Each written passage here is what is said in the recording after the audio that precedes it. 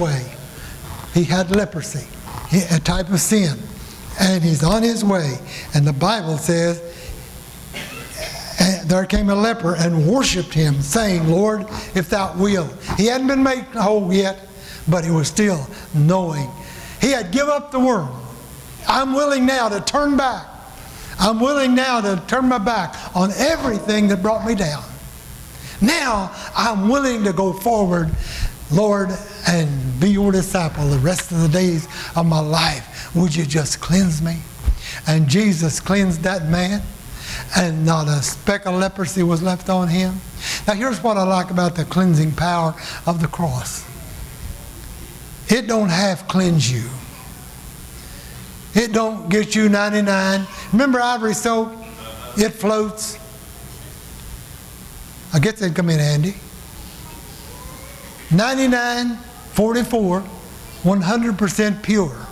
It floats. Well, I got one better. I got cleansed by 100% pure, and thank God sometimes I feel so good, I believe I can float. Hallelujah.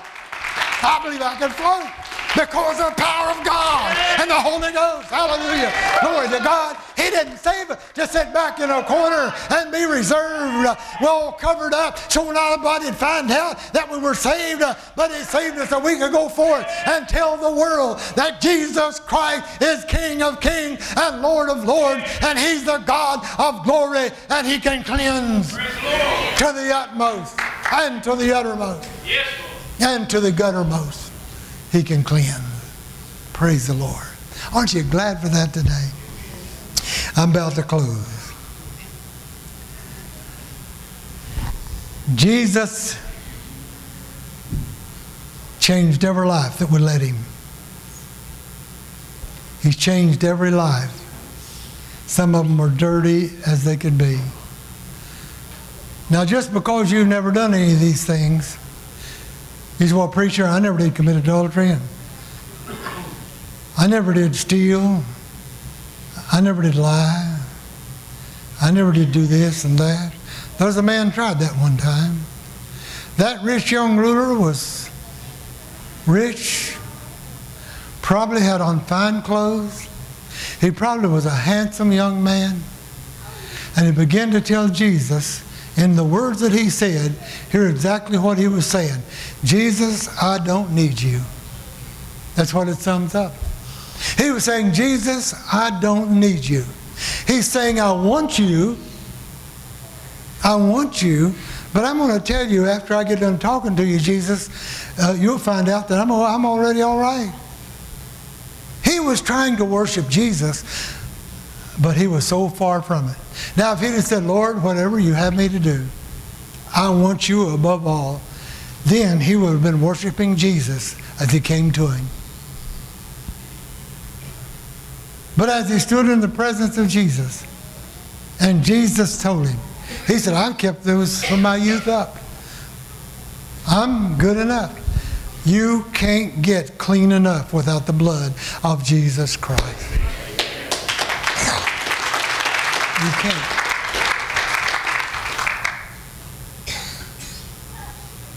The law, it shows us what not to do wrong.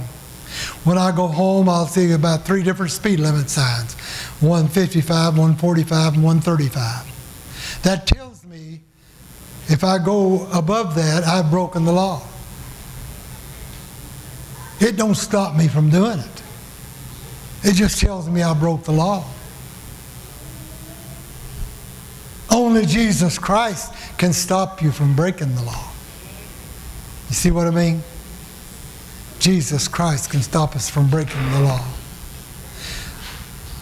If we break one commandment, we're guilty of breaking them all.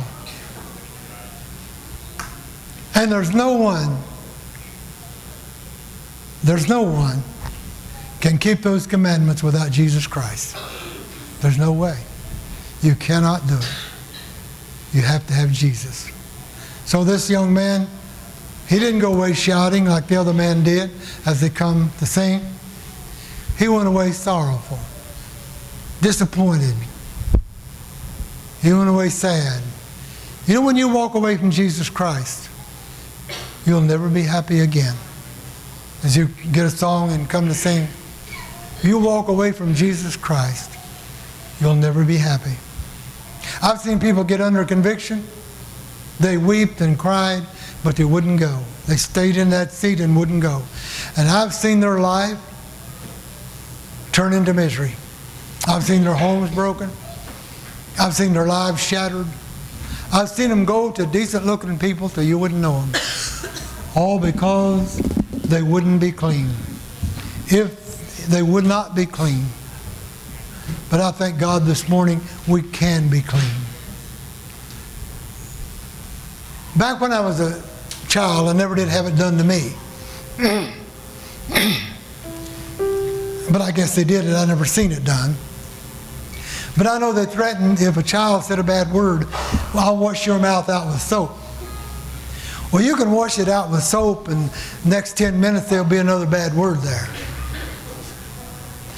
But Jesus Christ can wash your mouth out. And a lot of folk today need that. Need it bad. Jesus Christ, if they'd let him, would wash out the mouths on television. And they wouldn't blaspheme like they do talk filthy like they do. To me, if Jesus Christ hasn't washed the mouth out, that old foul mouth, and cleaned it up, you need another dip. I'm getting good now, and you're getting quiet.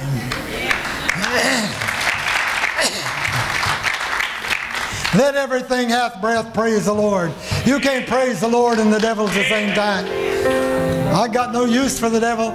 Jesus Christ is King. Hallelujah. We stand and sing today.